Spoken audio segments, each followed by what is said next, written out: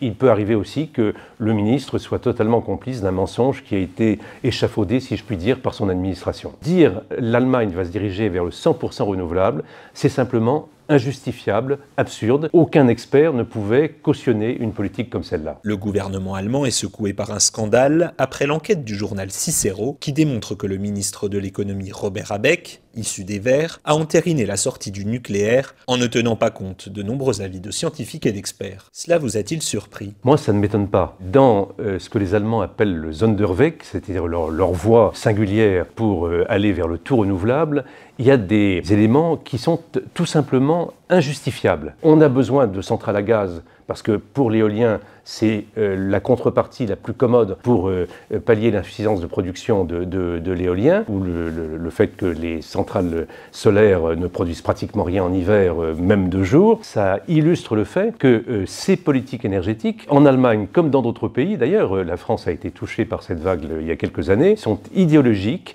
et qui font abstraction des données techniques, économiques, physiques. Dire l'Allemagne va se diriger vers le 100% renouvelable, c'est simplement injustifiable, absurde. Aucun expert ne pouvait cautionner une politique comme celle-là. Vous dites qu'il n'a soit pas été informé de ces expertises par ses services, soit qu'il les a ignorées sciemment. Qu'est-ce qui est le plus probable selon vous? Que les administrations euh, mentent à leurs ministres, j'en ai été à plusieurs reprises témoin. Et notamment quand il y a des ministres qui sont relativement peu au fait euh, des matières dont ils ont la, la charge, ce qui arrive très souvent. Dans le cas de Habeck, qui est un militant, entouré de hauts fonctionnaires militants, il est très possible que la décision consensuelle entre lui et son administration de ne pas tenir compte de l'avis des experts ait été prise. Il peut arriver aussi que le ministre soit totalement complice d'un mensonge qui a été échafaudé, si je puis dire, par son administration. Les hauts fonctionnaires sont comme les autres, si je puis dire. Il y a des gens qui font parfaitement leur travail objectivement en essayant de dégager au mieux les vérités sur lesquelles la décision politique peut s'appuyer. Il y en a qui sont des idéologues,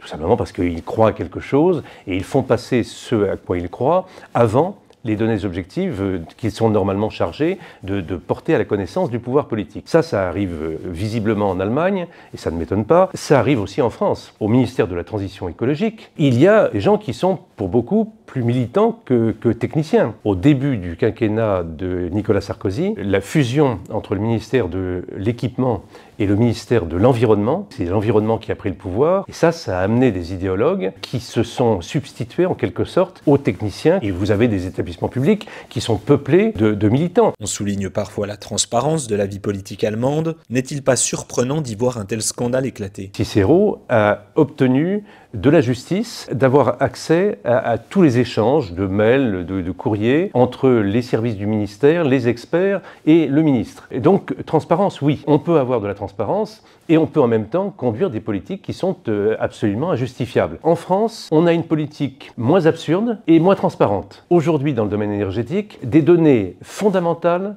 sont totalement absentes du débat, y compris pour ceux qui s'y intéressent de très près. C'est euh, impossible de savoir sur quelles hypothèses les décisions gouvernementales sont fondées. Par exemple, RTE est chargé de faire euh, des hypothèses pour les, les années à venir. C'est-à-dire que les consommateurs d'électricité sont supposés flexibles, ils peuvent réduire leur consommation, et RTE, dans les contacts euh, qu'on peut avoir avec eux, regrette que le gouvernement n'ait pas lancé ce qu'on pourrait appeler des tests en vraie grandeur de flexibilité. Donc on a un point extrêmement important pour l'équilibre du réseau électrique qui tout simplement n'est pas objectivé qui n'est pas documenté, comme on dit. En France, il y a des zones d'ombre euh, de la politique énergétique qui ne font l'objet d'aucune explication. Ces révélations sont-elles comparables à celles qu'avait fait émerger la commission d'enquête parlementaire sur la souveraineté énergétique, qui pointait l'absence de motivation rationnelle à l'arrêt de Superphénix, à la fermeture de Fessenheim et à la réduction à 50% du nucléaire dans la production d'électricité française. C'est très comparable. Et ce qui a été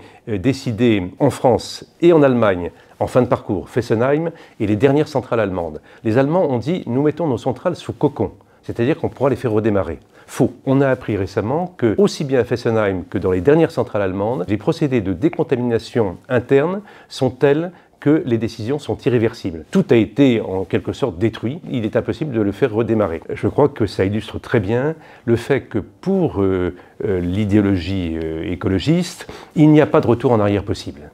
Et donc, euh, c'est une espèce de politique de la terre brûlée où on brûle ses vaisseaux, c'est-à-dire qu'on s'interdit de revenir en arrière. Il faut créer l'irréversibilité. D'ailleurs, le discours écologiste dans son ensemble est teinté de, cette volonté euh, de montrer qu'il n'y a pas de retour en arrière, qu'on doit être décroissant, qu'on doit avoir moins de confort, euh, moins de possibilités de se déplacer, etc., etc. Tous leurs discours peuvent être décryptés à la lumière de cette, cette volonté de créer l'irréversible. Superphénix, un arrêt qui a été décidé par le gouvernement Jospin, sous l'influence des Verts là aussi. Beaucoup plus récemment, l'arrêt du réacteur de recherche Astrid, décision prise en 2019. Astrid, euh, c'était l'espoir de recommencer cette avancée technologique assez extraordinaire du surgénérateur, de Superphénix. Quand on parle de réindustrialisation, c'est véritablement stratégique. Au vu de, données qui sont parfaitement objectives, il est incompréhensible qu'on ne relance pas de manière vigoureuse des recherches sur les réacteurs à neutrons rapides. Fermer la, moitié du parc électronucléaire, euh, c'est François Hollande et Ségolène Royal. Pas de justificatif, aucun rapport euh, qui établit que c'est la meilleure solution pour l'avenir énergétique du pays. Et puis, cette continuation au début du quinquennat d'Emmanuel Macron, consistant à fermer Fessenheim, ça n'est rien d'autre que